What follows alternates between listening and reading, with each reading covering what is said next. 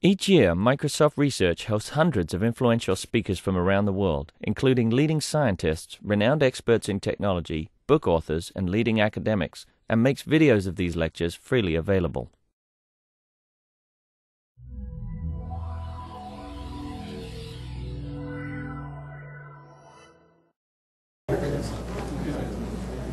Okay, we're going to get started, everyone. Uh, I'm Kim Wardell with Microsoft Government Affairs and the Microsoft PAC. We want to thank you all for coming today. I know almost all of you are PAC members, but if for some reason you are a guest or just a drop in, please consider joining the Microsoft PAC or internal. I just type in MS PAC, find a little bit more about the government affairs activity we do, a little bit more about our policy priorities, and um, consider joining with a contribution. Uh, two other quick housekeeping notes uh, before we introduce our uh, honored guest today. Uh, Commerce Secretary uh, Carlos Gutierrez just confirmed yesterday that he will be coming out on February 16th. So that will be another event you'll be getting notice of probably in the next day or so. Um, and uh, probably will also be a lunch, but we will um, get that information out to current PAC members. And then the following week, on February 21st, uh, we have Howard Dean will be coming out. So you get a chance, as uh, Mike Egan, my colleague, says, you get a chance to scream with Howard Dean on the 21st, and uh, should be a lively event. So um, now we get to our main event. We are honored to have uh, Paul Bremer here today. As many of you know, he is doing a uh, book tour through the Northwest for his recent book, My Year in Iraq. Um, he had the distinguished uh, position to be the only senior insider uh, working with the uh, uh Saddam, the following the, the, collapse of Saddam Hussein's regime, and then he's able to kind of give us a whole account of um, from the holy city of Najaf to the White House Situation Room to the Pentagon E-ring, revealing the hidden struggles among Iraq's politicians and America's leaders, and confronting for the first time the reality of occupying a large Muslim nation in the heart of the volatile Middle East. And two other biographical notes to mention, he was appointed uh, ambassador to the Netherlands and served in that role from 83 to 86. And then President Reagan appointed him ambassador at large for counterterrorism from 86 to 89. He also served in the private sector as a managing director of Kissinger and Associates, uh, headed by former Secretary of State uh, Henry Kissinger. So I hope you all will please uh, help me welcome Paul Bremer. Let me mention really quickly, too, that there will be time for Q&A after, and um, he'll also do some book signings, so please think about buying a book. Thank you. Thank you.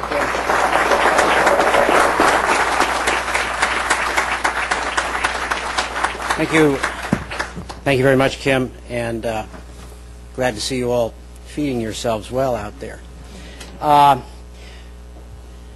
I uh, thought what I would do is give you a brief overview on the situation we faced uh, in Iraq when I arrived there in May of 2003, give you a sense of some of the challenges we faced, and then leave uh, time for questions, because I'm sure there'll be questions on your mind. I'd be happy to answer those. Uh, let me start by saying that you probably have read that we worked in one of Saddam's palaces, one of these places he built with the money that was taken from the oil for food program but it was certainly not palatial living when we got there. We had no electricity, no running water, no telephones. And I always remind people that the fact that we had no electricity had a good news, bad news side to it. The good news was meant we had no communications with Washington um, until they figured out how to find us. Bad news was it meant we had no air conditioning. And the temperatures by early May were already running between 115 and 120 in the day cooling off, if you can call it that, to about 100 at night.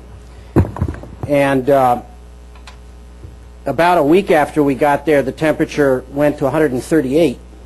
And I happen to be a Connecticut Yankee, so I, this felt pretty warm to me, and I was complaining to an Iraqi friend about it when he said, well, wait till summer comes, then you'll see.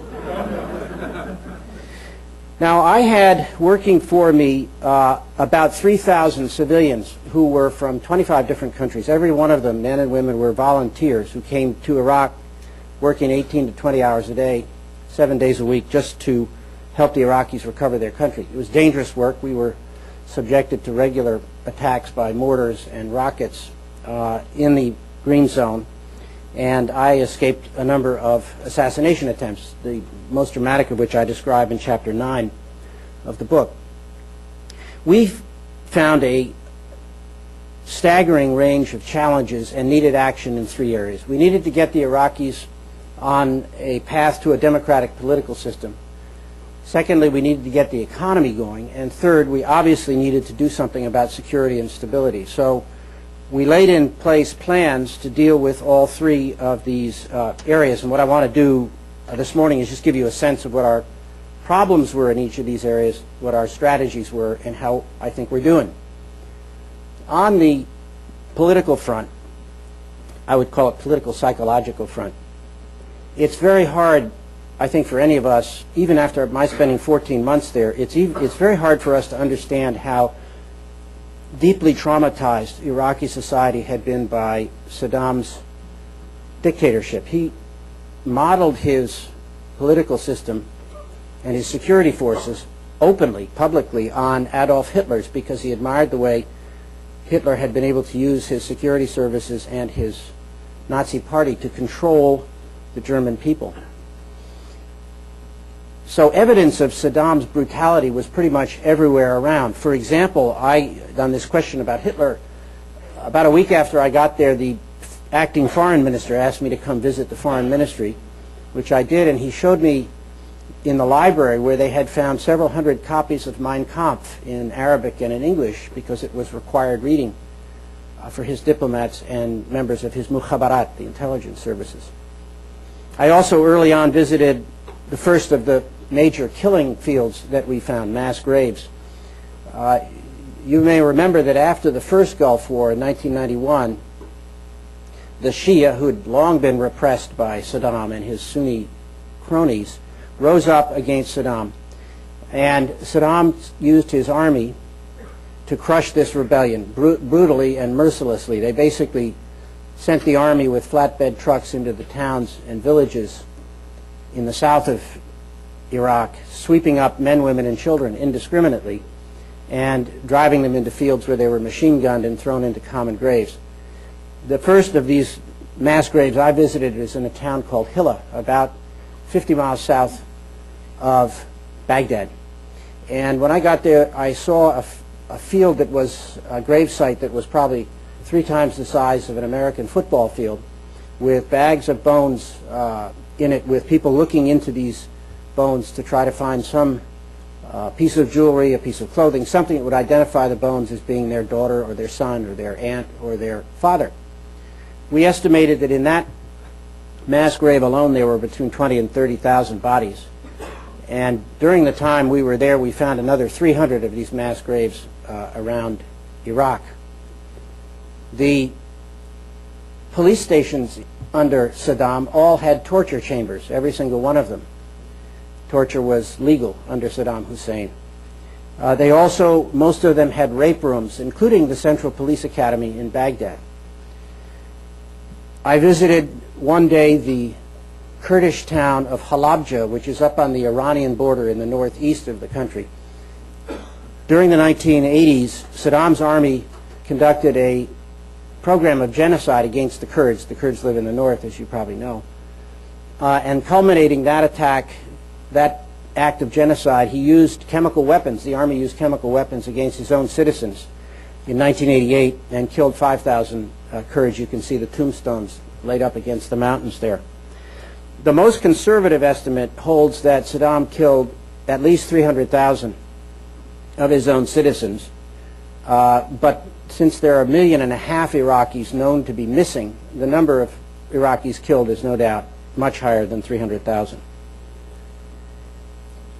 This, this tyranny of Saddam's lasted three times as long as Adolf Hitler was in power in Germany. So you can imagine the degree to which the psychological, you can imagine the degree of psychological pressure that had been put on the Iraqi people from this uh, terrible tyranny. Now, we also had to deal with the economy. And the economy was a wreck because Saddam had basically misappropriated, misallocated capital for a period of almost 40 years, and in effect also stolen lots of it, as we saw in the oil for food uh, scandal. As a result, Iraq's per capita GDP decreased more than any country in the world between 1979 and 2002. And Iraq, which had been the leading country in the region had its economy completely holed out from inside.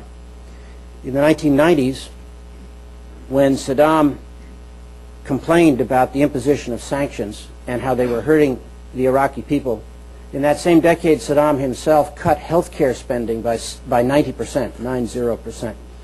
And at the end of 2002, according to the World Bank, Iraq then had the lowest life expectancy in the region and the highest infant mortality in the region. And this from a country that was very rich. Other essential services were no better. The schools, according to a UN study, at least half of the schools were so decrepit that they needed to be torn down and rebuilt.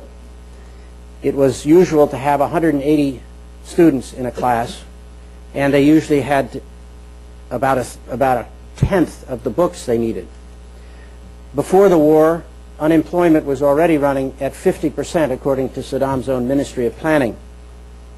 And as we started to get our arms around these problems, we found that we were facing a budget crisis. My advisors said we are going to go broke as a country in the fourth quarter of 2003 or the first quarter of 2004. We couldn't really get good information about the budget because the budget had been a state secret under Saddam Hussein. What we did find was that only 8% of the budget was actually passed through the normal ministries. 92% of the budget was spent directly out of the presidential palace and not through the ministries, which, by the way, gave us real problems of capacity in those ministries when the time came to try to push the budget through the ministries rather than out through the presidential palace. We also faced the consequences of Saddam's chronic budget deficits. He simply ran the printing presses to cover the deficits, and the Ministry of Planning informed me when I arrived that at the end of 2002, the inflation rate in Iraq was 115,000 percent. Well, I, I, could go on and give you a lot more data, but the, the point is we faced an economic crisis that was as deep as the Great Depression in the United States, combined with this terrible political and psychological trauma that people had been through. And we therefore needed to get action in both of these areas. So in the political side, the most important early steps were to cleanse the system of the old by focusing in particular on the senior ranks of the hated security forces and the criminal leaders of the Ba'ath Party. There's been a lot of misreporting about both of these decisions, so I'm going to take a minute to explain them. People have said that we made a mistake in disbanding Saddam's army. Actually, we made a mistake in choosing the word disbanding because there was no army to disband. When the army saw which way the war was going, particularly the Shia conscripts, Shia draftees, there were 315,000 of them, they simply went home. They went back to their farms. They went back to their families. They hated being in the army. They were brutalized by their, by their officers, and they just went home. So there was not a single unit of the army of Iraq standing anywhere in the country at liberation. There was no army. So the question we faced, in fact, wasn't whether to disband, it was whether to recall the old army. But recalling the old army would have had catastrophic political consequences because it was the army that had used those chemical weapons, had fought a genocidal war against the Kurds for a decade. And the Kurdish leaders were very clear to me that if we had tried to recall the army, they would have seceded from Iraq. Moreover, it was the army that had created those killing fields and mass graves among the Shia, who are 60% of the population. Same consequences would have followed if we had tried to force the Shia conscripts back into an army that they hated. So instead, we said we're going to create a new army, but we made a number of very important points. We said that anybody from the old army who wants to join the new army as a volunteer, not a conscript army, is welcome to apply. And officers from the old army also can apply. And actually, by the time we left uh, a year later, as it happened, 80% of the enlisted men were from the old army, and all of the officers and NCOs were from the old army since I've left, the training has changed and we've got more uh, new officers in there now. The same criticism has been made of the idea that when we, when we of our policy of de-Baathification. Basically, this was a, a hated party, but we knew that many, many people joined the party simply because they had to. It was the only way, for example, to get a job as a teacher. You had to join the party. Our quarrel wasn't with those people. The de-Baathification decree was very narrowly focused and said simply that the top 1% of the party could no longer be on the public payroll. They could go out and set up a business if they wanted to, be farmers. If they weren't criminals, they could leave the country. But that top 1% could no longer be in public service.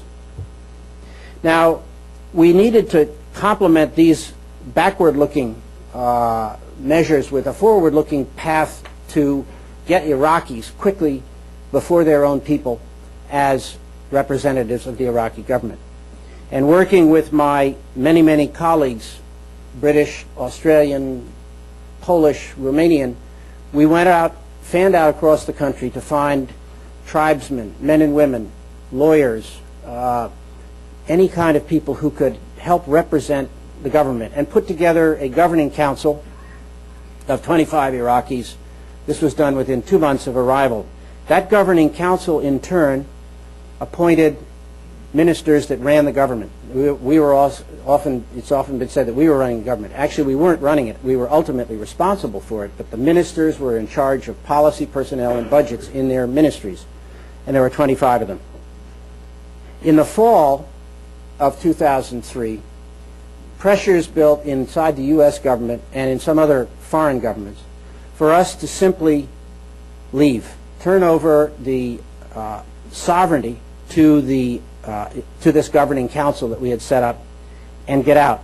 I resisted this, and I describe in the book why I resisted it. And the reason is I felt that given Iraq's political background, they really needed some kind of a constitution that could define how the government would be structured.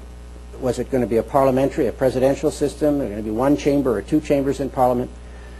That established basic human rights and the protections of human and individual rights, and a constitution which reasserted the rule of law in Iraq. After a lot of discussions, the president agreed with me that we should not leave until we had got at least an interim constitution in place, which we did March 1st, 2004. And it's a remarkable document. Most of what we wrote with the Iraqis then was carried into the constitution that was just approved uh, in October. Moreover, we laid out at that time the path to democratic elections. And despite the predictions of the armchair experts back here, every single one of the steps in that path has been followed by the Iraqi people against the dire warnings of the terrorists. Remember, they had three different elections last year, and the terrorists' guidance was, if you vote, you die. They basically said to every Iraqi, you better not go vote in those elections. So every single Iraqi man or woman who went and voted in those elections was taking his or her life in their own hands. They were risking their life to vote. The turnout at the election on December 15th that we just saw was higher than the turnout in any American presidential election in 125 years. The last time we turned out at that rate was when Rutherford Hayes beat Samuel Tilden in 1876. The Iraqis really want to run their country. They risked their lives and they turned out in enormous numbers. Now, this didn't just happen. This happened because we set, I set aside $760 million to help build civic society, which is a necessary underpinning. Democracy is not just elections. There's a lot of other things that have to happen. And I set aside $760 million to, for example, establish women's centers in all 18 provinces, democracy centers, NGOs to teach about human rights, professional associations for lawyers, doctors, dentists. We even held uh, 500 elections all around the country, right at the village level, for sports foundations and sports federations, so that Iraq, Iraq could be accepted back into the international Olympic uh, movement from which it had been expelled. And I watched with great joy when the Iraqi flag was brought into the stadium in Athens uh, the following year after they had been accepted back into the uh, movement. Now, uh, I'm not naive about the political situation. It's certainly that, that there will be bumps in the road uh, as they move ahead, but the process is started and the direction is good. So that was our political plan. Let me take a moment and talk about our economic plan. The first problem we had was unemployment. Unemployment, as I mentioned before the war, had been 50%. We didn't know what it was after the war, but it was presumably higher. And we were the largest employer because we were the government. Millions of Iraqi families depended on a salary from us and hadn't been paid for two months. Millions more were pensioners, government pensioners, and they hadn't been paid for two months either.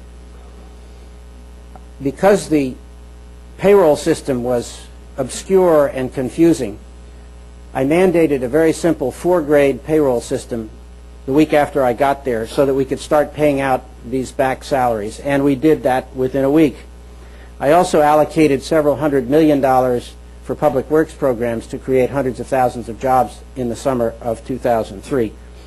None of this was easy because the banking system was closed down.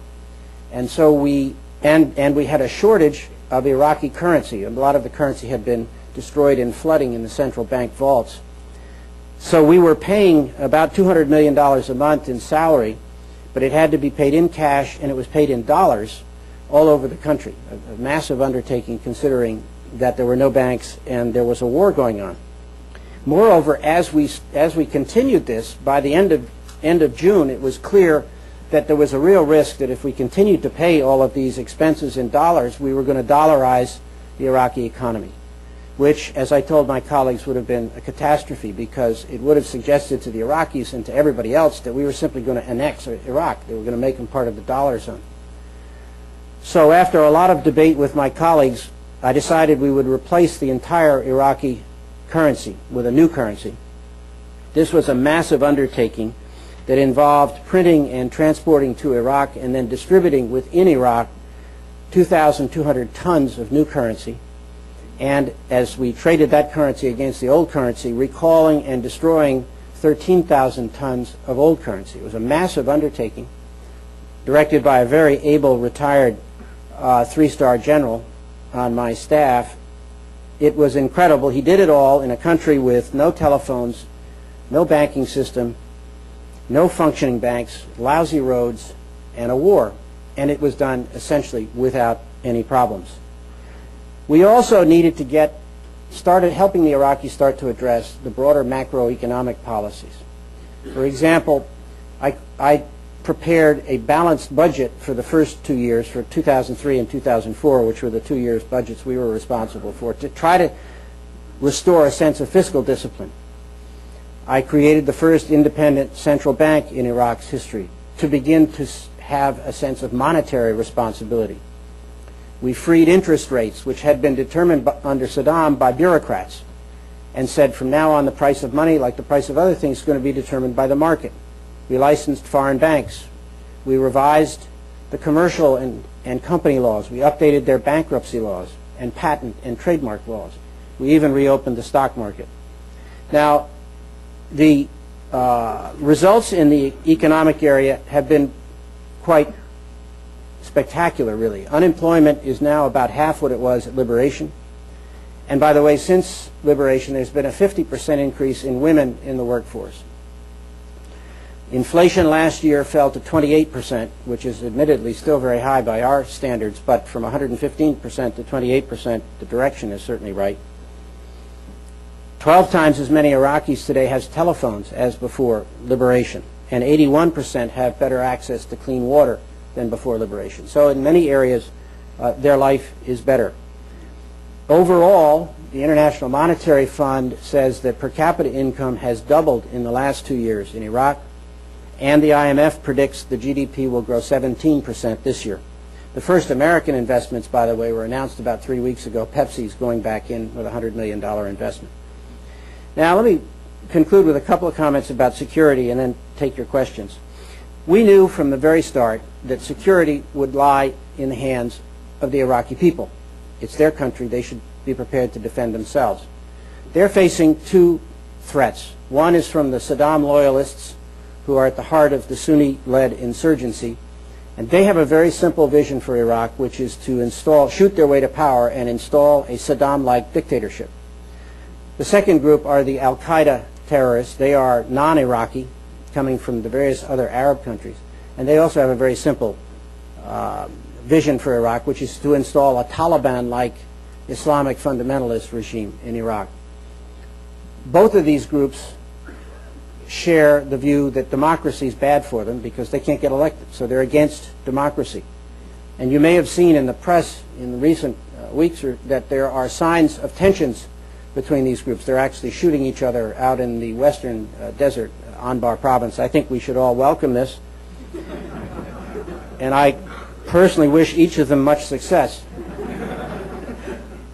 Now, we, set aside, we started up the world's largest police training program uh, when I was there.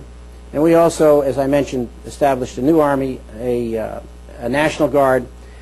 In my book, uh, I express a lot of concerns that I had when these programs were just kicking off in the fall of 2003. My concerns were that there was a tendency in our military to overestimate the capability of these forces, perhaps with an eye to saying that when the first big rotation of troops came, which was going to be in the spring of 2004, as the first uh, divisions that had come in had their year on the year on the ground end, they would have to be replaced. And I think there was a tendency by some in our military to overestimate the capability of the Iraqis to, to in effect, replace American forces when that rotation came, allowing us to draw our forces down. As, as it happened, those Iraqi forces really collapsed when there was an uprising in April and May of 2004. And we had to substantially revamp the training and revise the training. They are now much better trained than they were a year and a half ago when I was there, and that is a very good, uh, a very good sign. Let me conclude with three uh, very brief points and then take your questions. First of all, uh, I'm optimistic about the future of Iraq. It's a rich country, and, and I don't just mean the, the natural resources. The people are dedicated, they're delighted to be liberated, and they want a peaceful, stable Iraq. The balance of power is with democracy in Iraq. And the Iraqis are optimistic about their future, which is a lot more important than whether I'm optimistic about it. The polls show over and over and over that the substantial, large majorities of the Iraqis are optimistic about the future. Secondly, Americans must be patient facing these difficult international uh, situations. I, I recognize that patience is not the most remarkable American characteristic, but I think it's important for us to remember that these kinds of transformations of these societies uh, take time, and we have to be patient. And finally, it's the benefits of stabilizing Iraq are very substantial because a democratic Iraq is the political complement to a military strategy to defeat terrorists. Iraq is on the front line of this war on terrorism, and you need a military strategy, but you also need a political strategy, and democracy is that political strategy.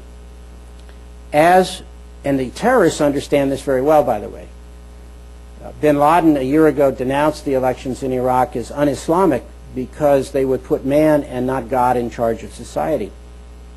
His deputy, an Egyptian doctor named al-Zawahiri, last summer condemned democracy, and I quote, as a new religion that must be destroyed by war. Democracy, a new religion. And Abu Musab Zarqawi, who's the head of al-Qaeda in Iraq, two years ago this month, in a letter that we intercepted to his followers said, I can see democracy coming to Iraq, and then he said, and there's no place for us in a democratic Iraq. So the terrorists understand that democracy presents a strategic threat to them, a political and strategic threat. Tuesday night, the president said something that really relates to all of this in a State of the Union address. He said, the only way to defeat the terrorists is to defeat their dark vision of hatred and fear by offering the hopeful alternative of political freedom and peaceful change. Thank you.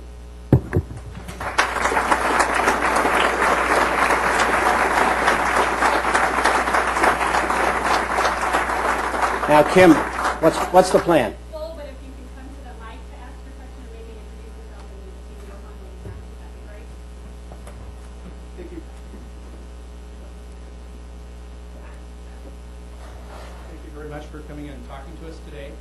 Um, it, it's an honor to get to talk to you. I mean, you essentially were the president of Iraq, and, and you rebuilt Iraq, in my view, faster than we were able to do it in Europe following World War II, and, and that's just amazing to me. The, the question that I have is, is the constant criticism of, of no weapons of mass destruction being found.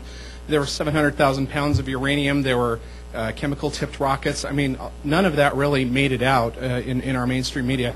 And I was just wondering if you could comment on that to, to the extent that you're able. And thank you again. Thank you. The, the WMD uh, situation is still something of a mystery to me. It, analytically, there are three possibilities. Uh, possibility number one is that he had them and we didn't find them. It's not impossible. It's a uh, country the size of California. And you may remember at one point we found an entire Russian uh, MiG jet fighter buried in the sand out in the uh, western desert. You can put enough biological weapons in a footlocker to kill millions of people. So it's conceivable that we didn't find it. Uh, the second possibility, which has been talked about a fair amount in the last week or so, is that these weapons were smuggled out to uh, Syria. We saw some intelligence reports suggesting that there was some smuggling of this, these weapons to Syria. It's, it's at least plausible because we know Syria has given active support to the Ba'athist insurgency since then and has helped terrorists come up through Syria to into Iraq. So it's it's plausible. I have no way of knowing if it's true. Third possibility is the one that's sort of the accepted common wisdom, which is that he didn't have WMD. Now the problem with that is, it's and it's possible. Uh, and it, it, if, it, if it's the case, it certainly is a, a major intelligence failure because the intelligence community said he had them. But then you've got to remember that the intelligence services, not just of America, but of Britain, France, Germany, Russia, and Israel, also concluded that he had these weapons. And the French, Germans, and Russians were against the war, but their intelligence services also concluded he had them. So if there was a, uh, an intelligence failure, it's a lot bigger than just our our own uh, country. And I, I don't honestly know among these three options, I don't have a view as to what happened. What we do know is the last inspector there, a guy named Charlie Duelfer, in his report to Congress a year ago, said that what he found was that Saddam had kept the programs, people, and equipment in place and had the intention, as soon as sanctions were lifted, to resume his programs. So that, now you know everything I know about it What is your opinion of the quality of media coverage, um, Western media coverage of the activities in Iraq and the consequences thereof? Well, we had a lot of concerns, and I'll, I describe it in my book.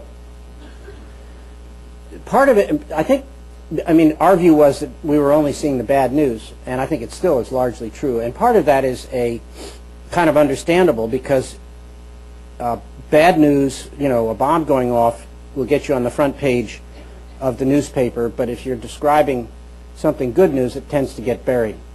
And we had a lot of um, discussions trying to get the press to focus more on the on the good news. And there is a lot of good news. I mean, the economic situation that I just cited is very important. That's what really affects the people's lives there. That's why very high percentages of Iraqis say they're optimistic about the future because, and it probably surprises Americans because all we see is the bad news but it's a free press, and they'll do what, it, what they do. We tried to get them to cover good news stories, but it wasn't easy. Please. Thanks for your time today. Um, in looking over the latter half of the 20th century, it appears to me that, that in Europe, anyway, uh, a big part of our success was due to the uh, to the Marshall Plan, in addition to our military victories. And in Asia, I, I think the program name was uh, Stratton Briggs. I could have that wrong. Does it make sense to uh, have a Marshall Plan style program for Iraq, and under I realize it would be expensive, and I realize that we don't have a lot of money as much as we did in, in those previous times. But would it make sense to target Iraq for that type of reconstructive effort? And if so, do you think it would be successful? Well, that's basically what we did. You may remember I came. I recommended to the president a, a major supplemental budget in, in, in the fall of 2003 and Congress voted that budget. It was 18.6 billion dollars, so it was it was a fair piece of change. And it was directed, it wasn't modeled on the Marshall Plan, but the general conception was the same as the Marshall Plan, that, that we had a country there in Iraq that had been devastated economically, not by the war, different from, say, Germany or, or Europe, but by this misallocation of capital, pervasive corruption that had gone on for 45 years. It left Iraq with terrible infrastructure, whether it was health care, schools, electric power, even the oil fields had been badly managed for decades. And I felt very strongly that we needed to do what we could to help them to help them grow because whatever you did on the political side, if you couldn't get the economy working, you, you know, these two things were obviously related. Now, as it happens, as the insurgents figured out what we were doing, they started targeting these reconstruction plans, and we wound up, as the papers have been reporting uh, in the last couple of days, having to shift a lot of the money away from electric power plants to security. Uh, and we had to spend a lot more on security. We had to build a much bigger army than I had initially budgeted for. The, the army that I had budgeted for was 40,000 men, three divisions. It's now about 107,000 men. So a lot of resources got shifted, but the idea of helping them rebuild was behind the supplemental budget that we uh, requested and which Congress voted for us. Well, it'll continue. Um, yeah, I mean, our initial uh, project stack was about 5,000 projects, and we couldn't afford all 5,000. The 18.6 billion, we had to draw a line at 2,300 projects. Uh, and I don't know what the number now is because obviously we had to drop several hundred of those because of the uh, security. But some of that, uh, some of those projects obviously have very long tails. They're going to take, it, it'll take a couple of more years for them to finish. Uh, if we continue to make progress against the insurgents, then that should help. I think it's the right approach, um, even though it has turned out to be a lot harder than we thought. Ultimately, how much do you think this is going to cost the United States, and any idea of how we're going to get this money back?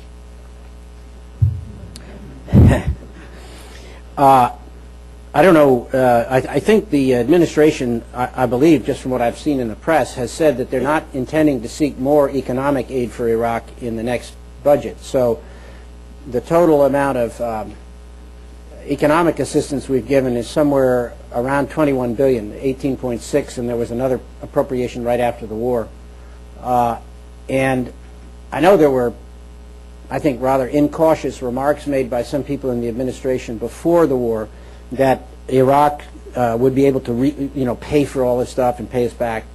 Well, as it happens, uh, those assessments were based on an unrealistic assessment about the amount of oil Iraq could produce quickly.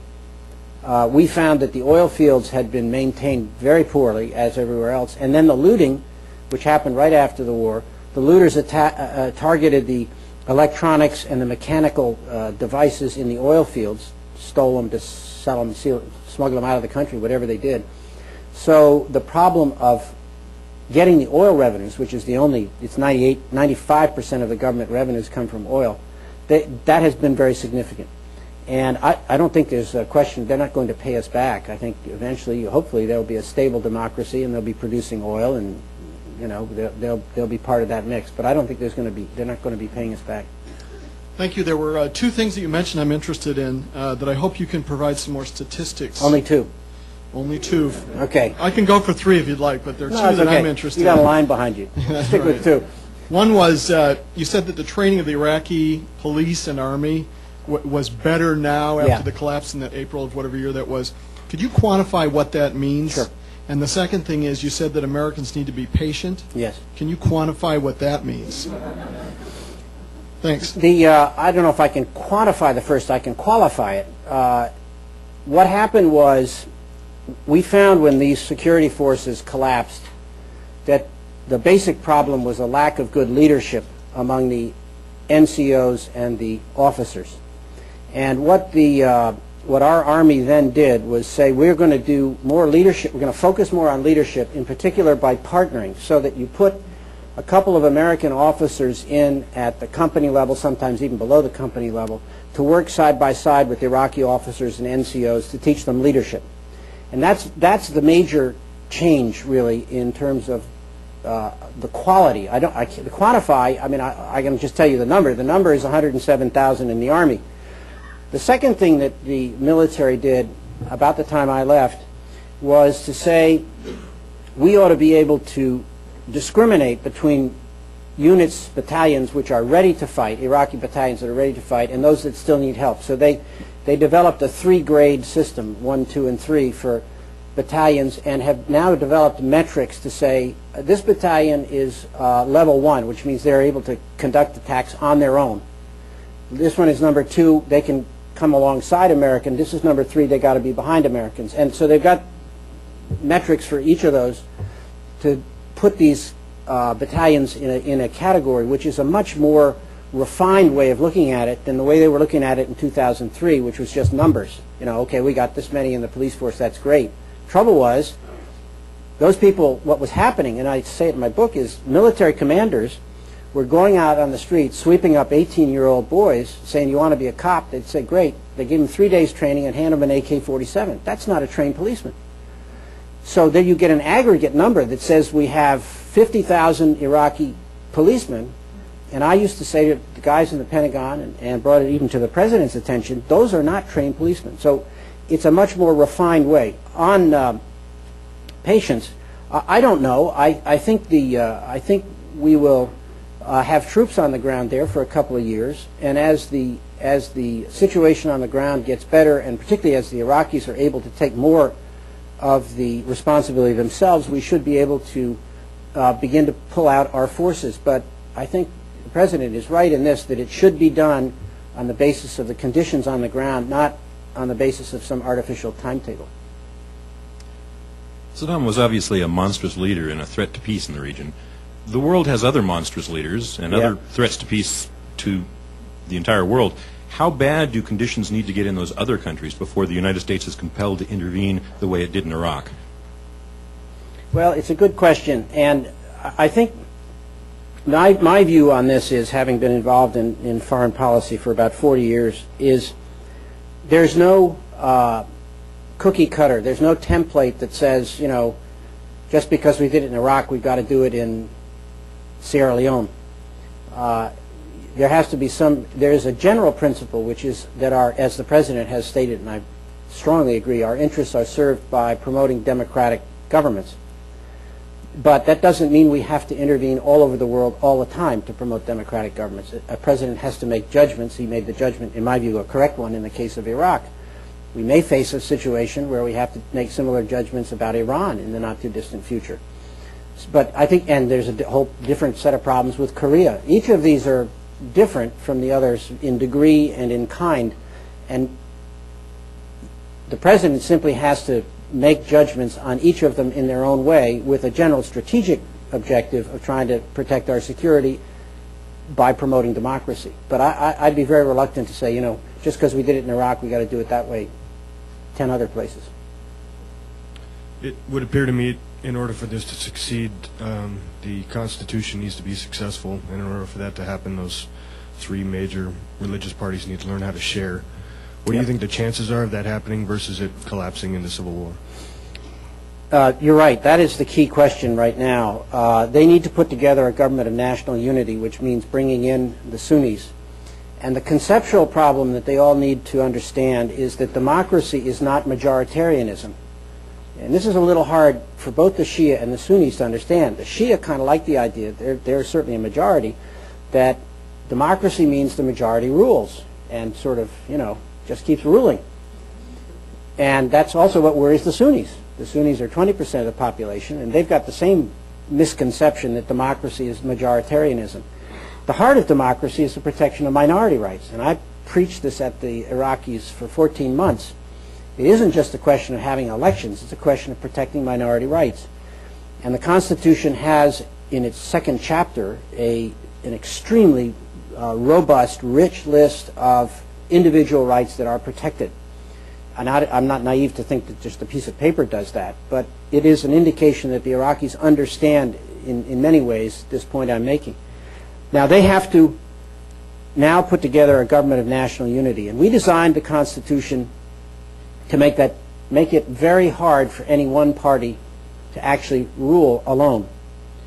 And we set up a series of hurdles in there which are now forcing compromise, which was our idea. Compromise is, is really at the heart of democratic government. And I believe they will come up with a government of national unity uh, that'll bring the Sunnis in. And I think that that will begin to uh, bleed support away from the insurgency, the Sunni insurgency, as more and more Sunnis begin to realize that the best way forward for them is to work within the political system instead of trying to shoot their way there. So I'm, I'm, I'm, I'm pretty optimistic about it. Okay? Well, of course. One of the basic freedoms uh, guaranteed by our Constitution is religious freedom. Uh, last September, I had an opportunity to meet a young woman who's uh, an Iraqi Catholic nun studying in the United States, and she described a situation where her family, also Christians, uh, had taken their children out of school because the schools were now forcing religious instruction, Islamic religious instruction on them, and that they were no longer safe uh, to attend school. Um, I've also read some things that the current Constitution that has been approved does not guarantee those basic freedoms. Would you comment on that? Yeah. Uh, the uh, Just on the second point, the Constitution does guarantee, or or let's put it this way, guarantees the wrong word. The current Constitution states an absolute commitment to religious freedom and freedom of religious practices, which was a point the Iraqi Christians made to me. They want to also be able to practice their religion. I think this, uh, uh, the, the situation for the Iraqi Christians is difficult now, and it's gotten worse in the last six months. Uh, I met with a group of Chaldean Christians in San Diego the day before yesterday, expressing their concerns, which I share. Uh, what's happening is, the, particularly in the South, the, Is- the Islamic Shia parties are starting to put pressure on the Christians, telling the Christian women they have to be veiled, pressures in the classrooms, some uh, looting or, or, or attacks on Christian stores uh, that are closing down. I don't think it has reached a crisis yet, but it is a serious concern, and I've encouraged the Chaldeans that I've met with both in San Diego and Detroit last week to mobilize themselves to start, you know, talking about this with our government so that we can take whatever steps we can.